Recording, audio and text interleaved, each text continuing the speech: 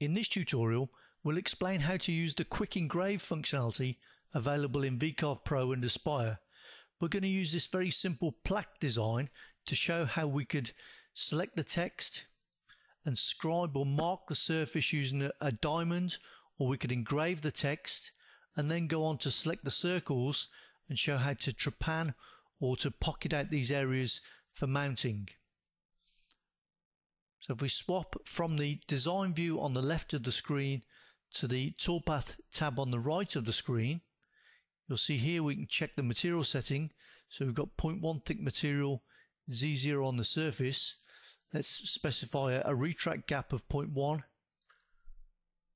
0.1 of an inch.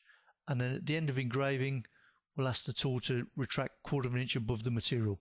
Click OK. We just press the letter F to scale the view to fit. The quick engraving toolpath functionality is the last icon on the first row of the toolpath operations menu. If we open the form, first of all we select the tool that we wish to use. So we've got an option here we can use engraving tools, so we could use a, a 20 degree a very pointed cutter, say four, four tenths or sorry four thousandths flat, or we could use a, a, diamond drag tool. This, these tools are used for scratching the surface of, of materials such as brass and uh, instead of engraving you're literally just scribing the surface. So in this example we're going to use a, a diamond drag. So diamond, so we've got an eighth of an inch diameter with a 90 degree included angle diamond on the tip of this cutter and when we engrave it will give us a line width of about 20 thousandths of an inch we click OK to select that tool, we can then specify a, de a depth or pressure. Now this is not the depth that the cutter is going to machine into the material surface. This is really a, a pressure to load the spring on the cutter. These diamond drag cutters would normally be mounted in a, a spring loaded collet where you have to force the cutter onto the material to so that the cutter stays in contact with uneven surfaces. If you if you specify a a toolpath that's going to engrave say 10 thousandths deep and the material is not very flat, then you'll get a, a varying uh, quality of engraving. If you're using a diamond drag tool in a spring loaded holder, then you can force the tool onto the material and put the tool under pressure due to the spring and then the spring allows the, the diamond or the tip of the engraver to follow the surface regardless of whether it's flat or not. So we'll say let's put it under a pressure of about 0.1 of an inch and we'll select the text and we'll say okay we're going to fill so we're going to scribe inside each of the letters. We'll have a step over of say 30,000. Let's make it slightly smaller. Let's make step over of say 25 thousandths. now we could have a, an offset pattern or a hatch pattern. Hatch pattern will give us parallel lines inside the letters, we'll have them cutting or scribing at 45 degrees. If you're using a nose cone, we can say, okay, how deep is the, the tip of the cutter dropping out from the from the nose cone? Let's say it's dropping out, say, five thousandths of an inch.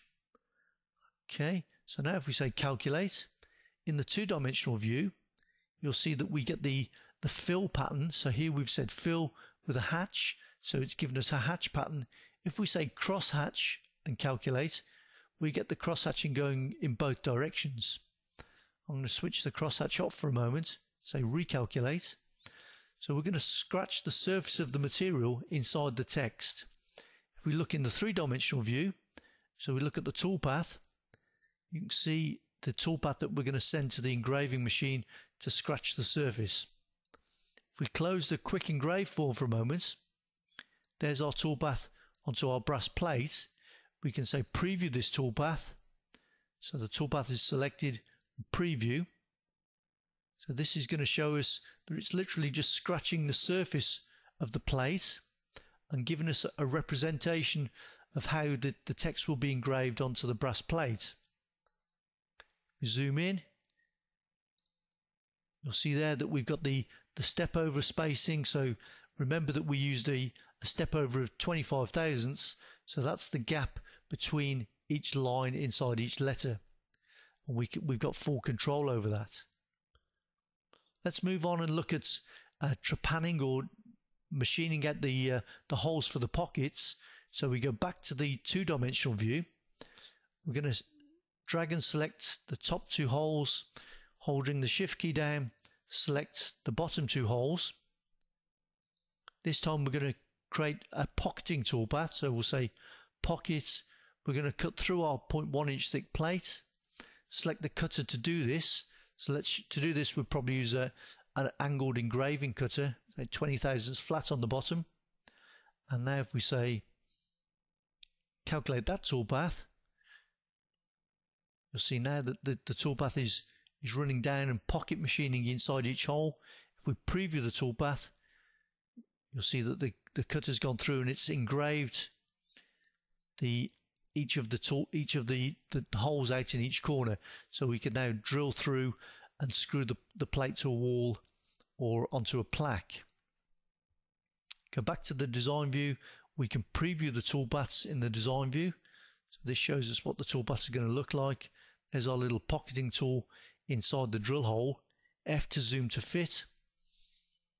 We can now check how long it's going to take to engrave this plaque. So estimate the machining time and it's telling us just to scratch the surface it should take approximately five minutes and then about another minute or so to drill out the, the four corners.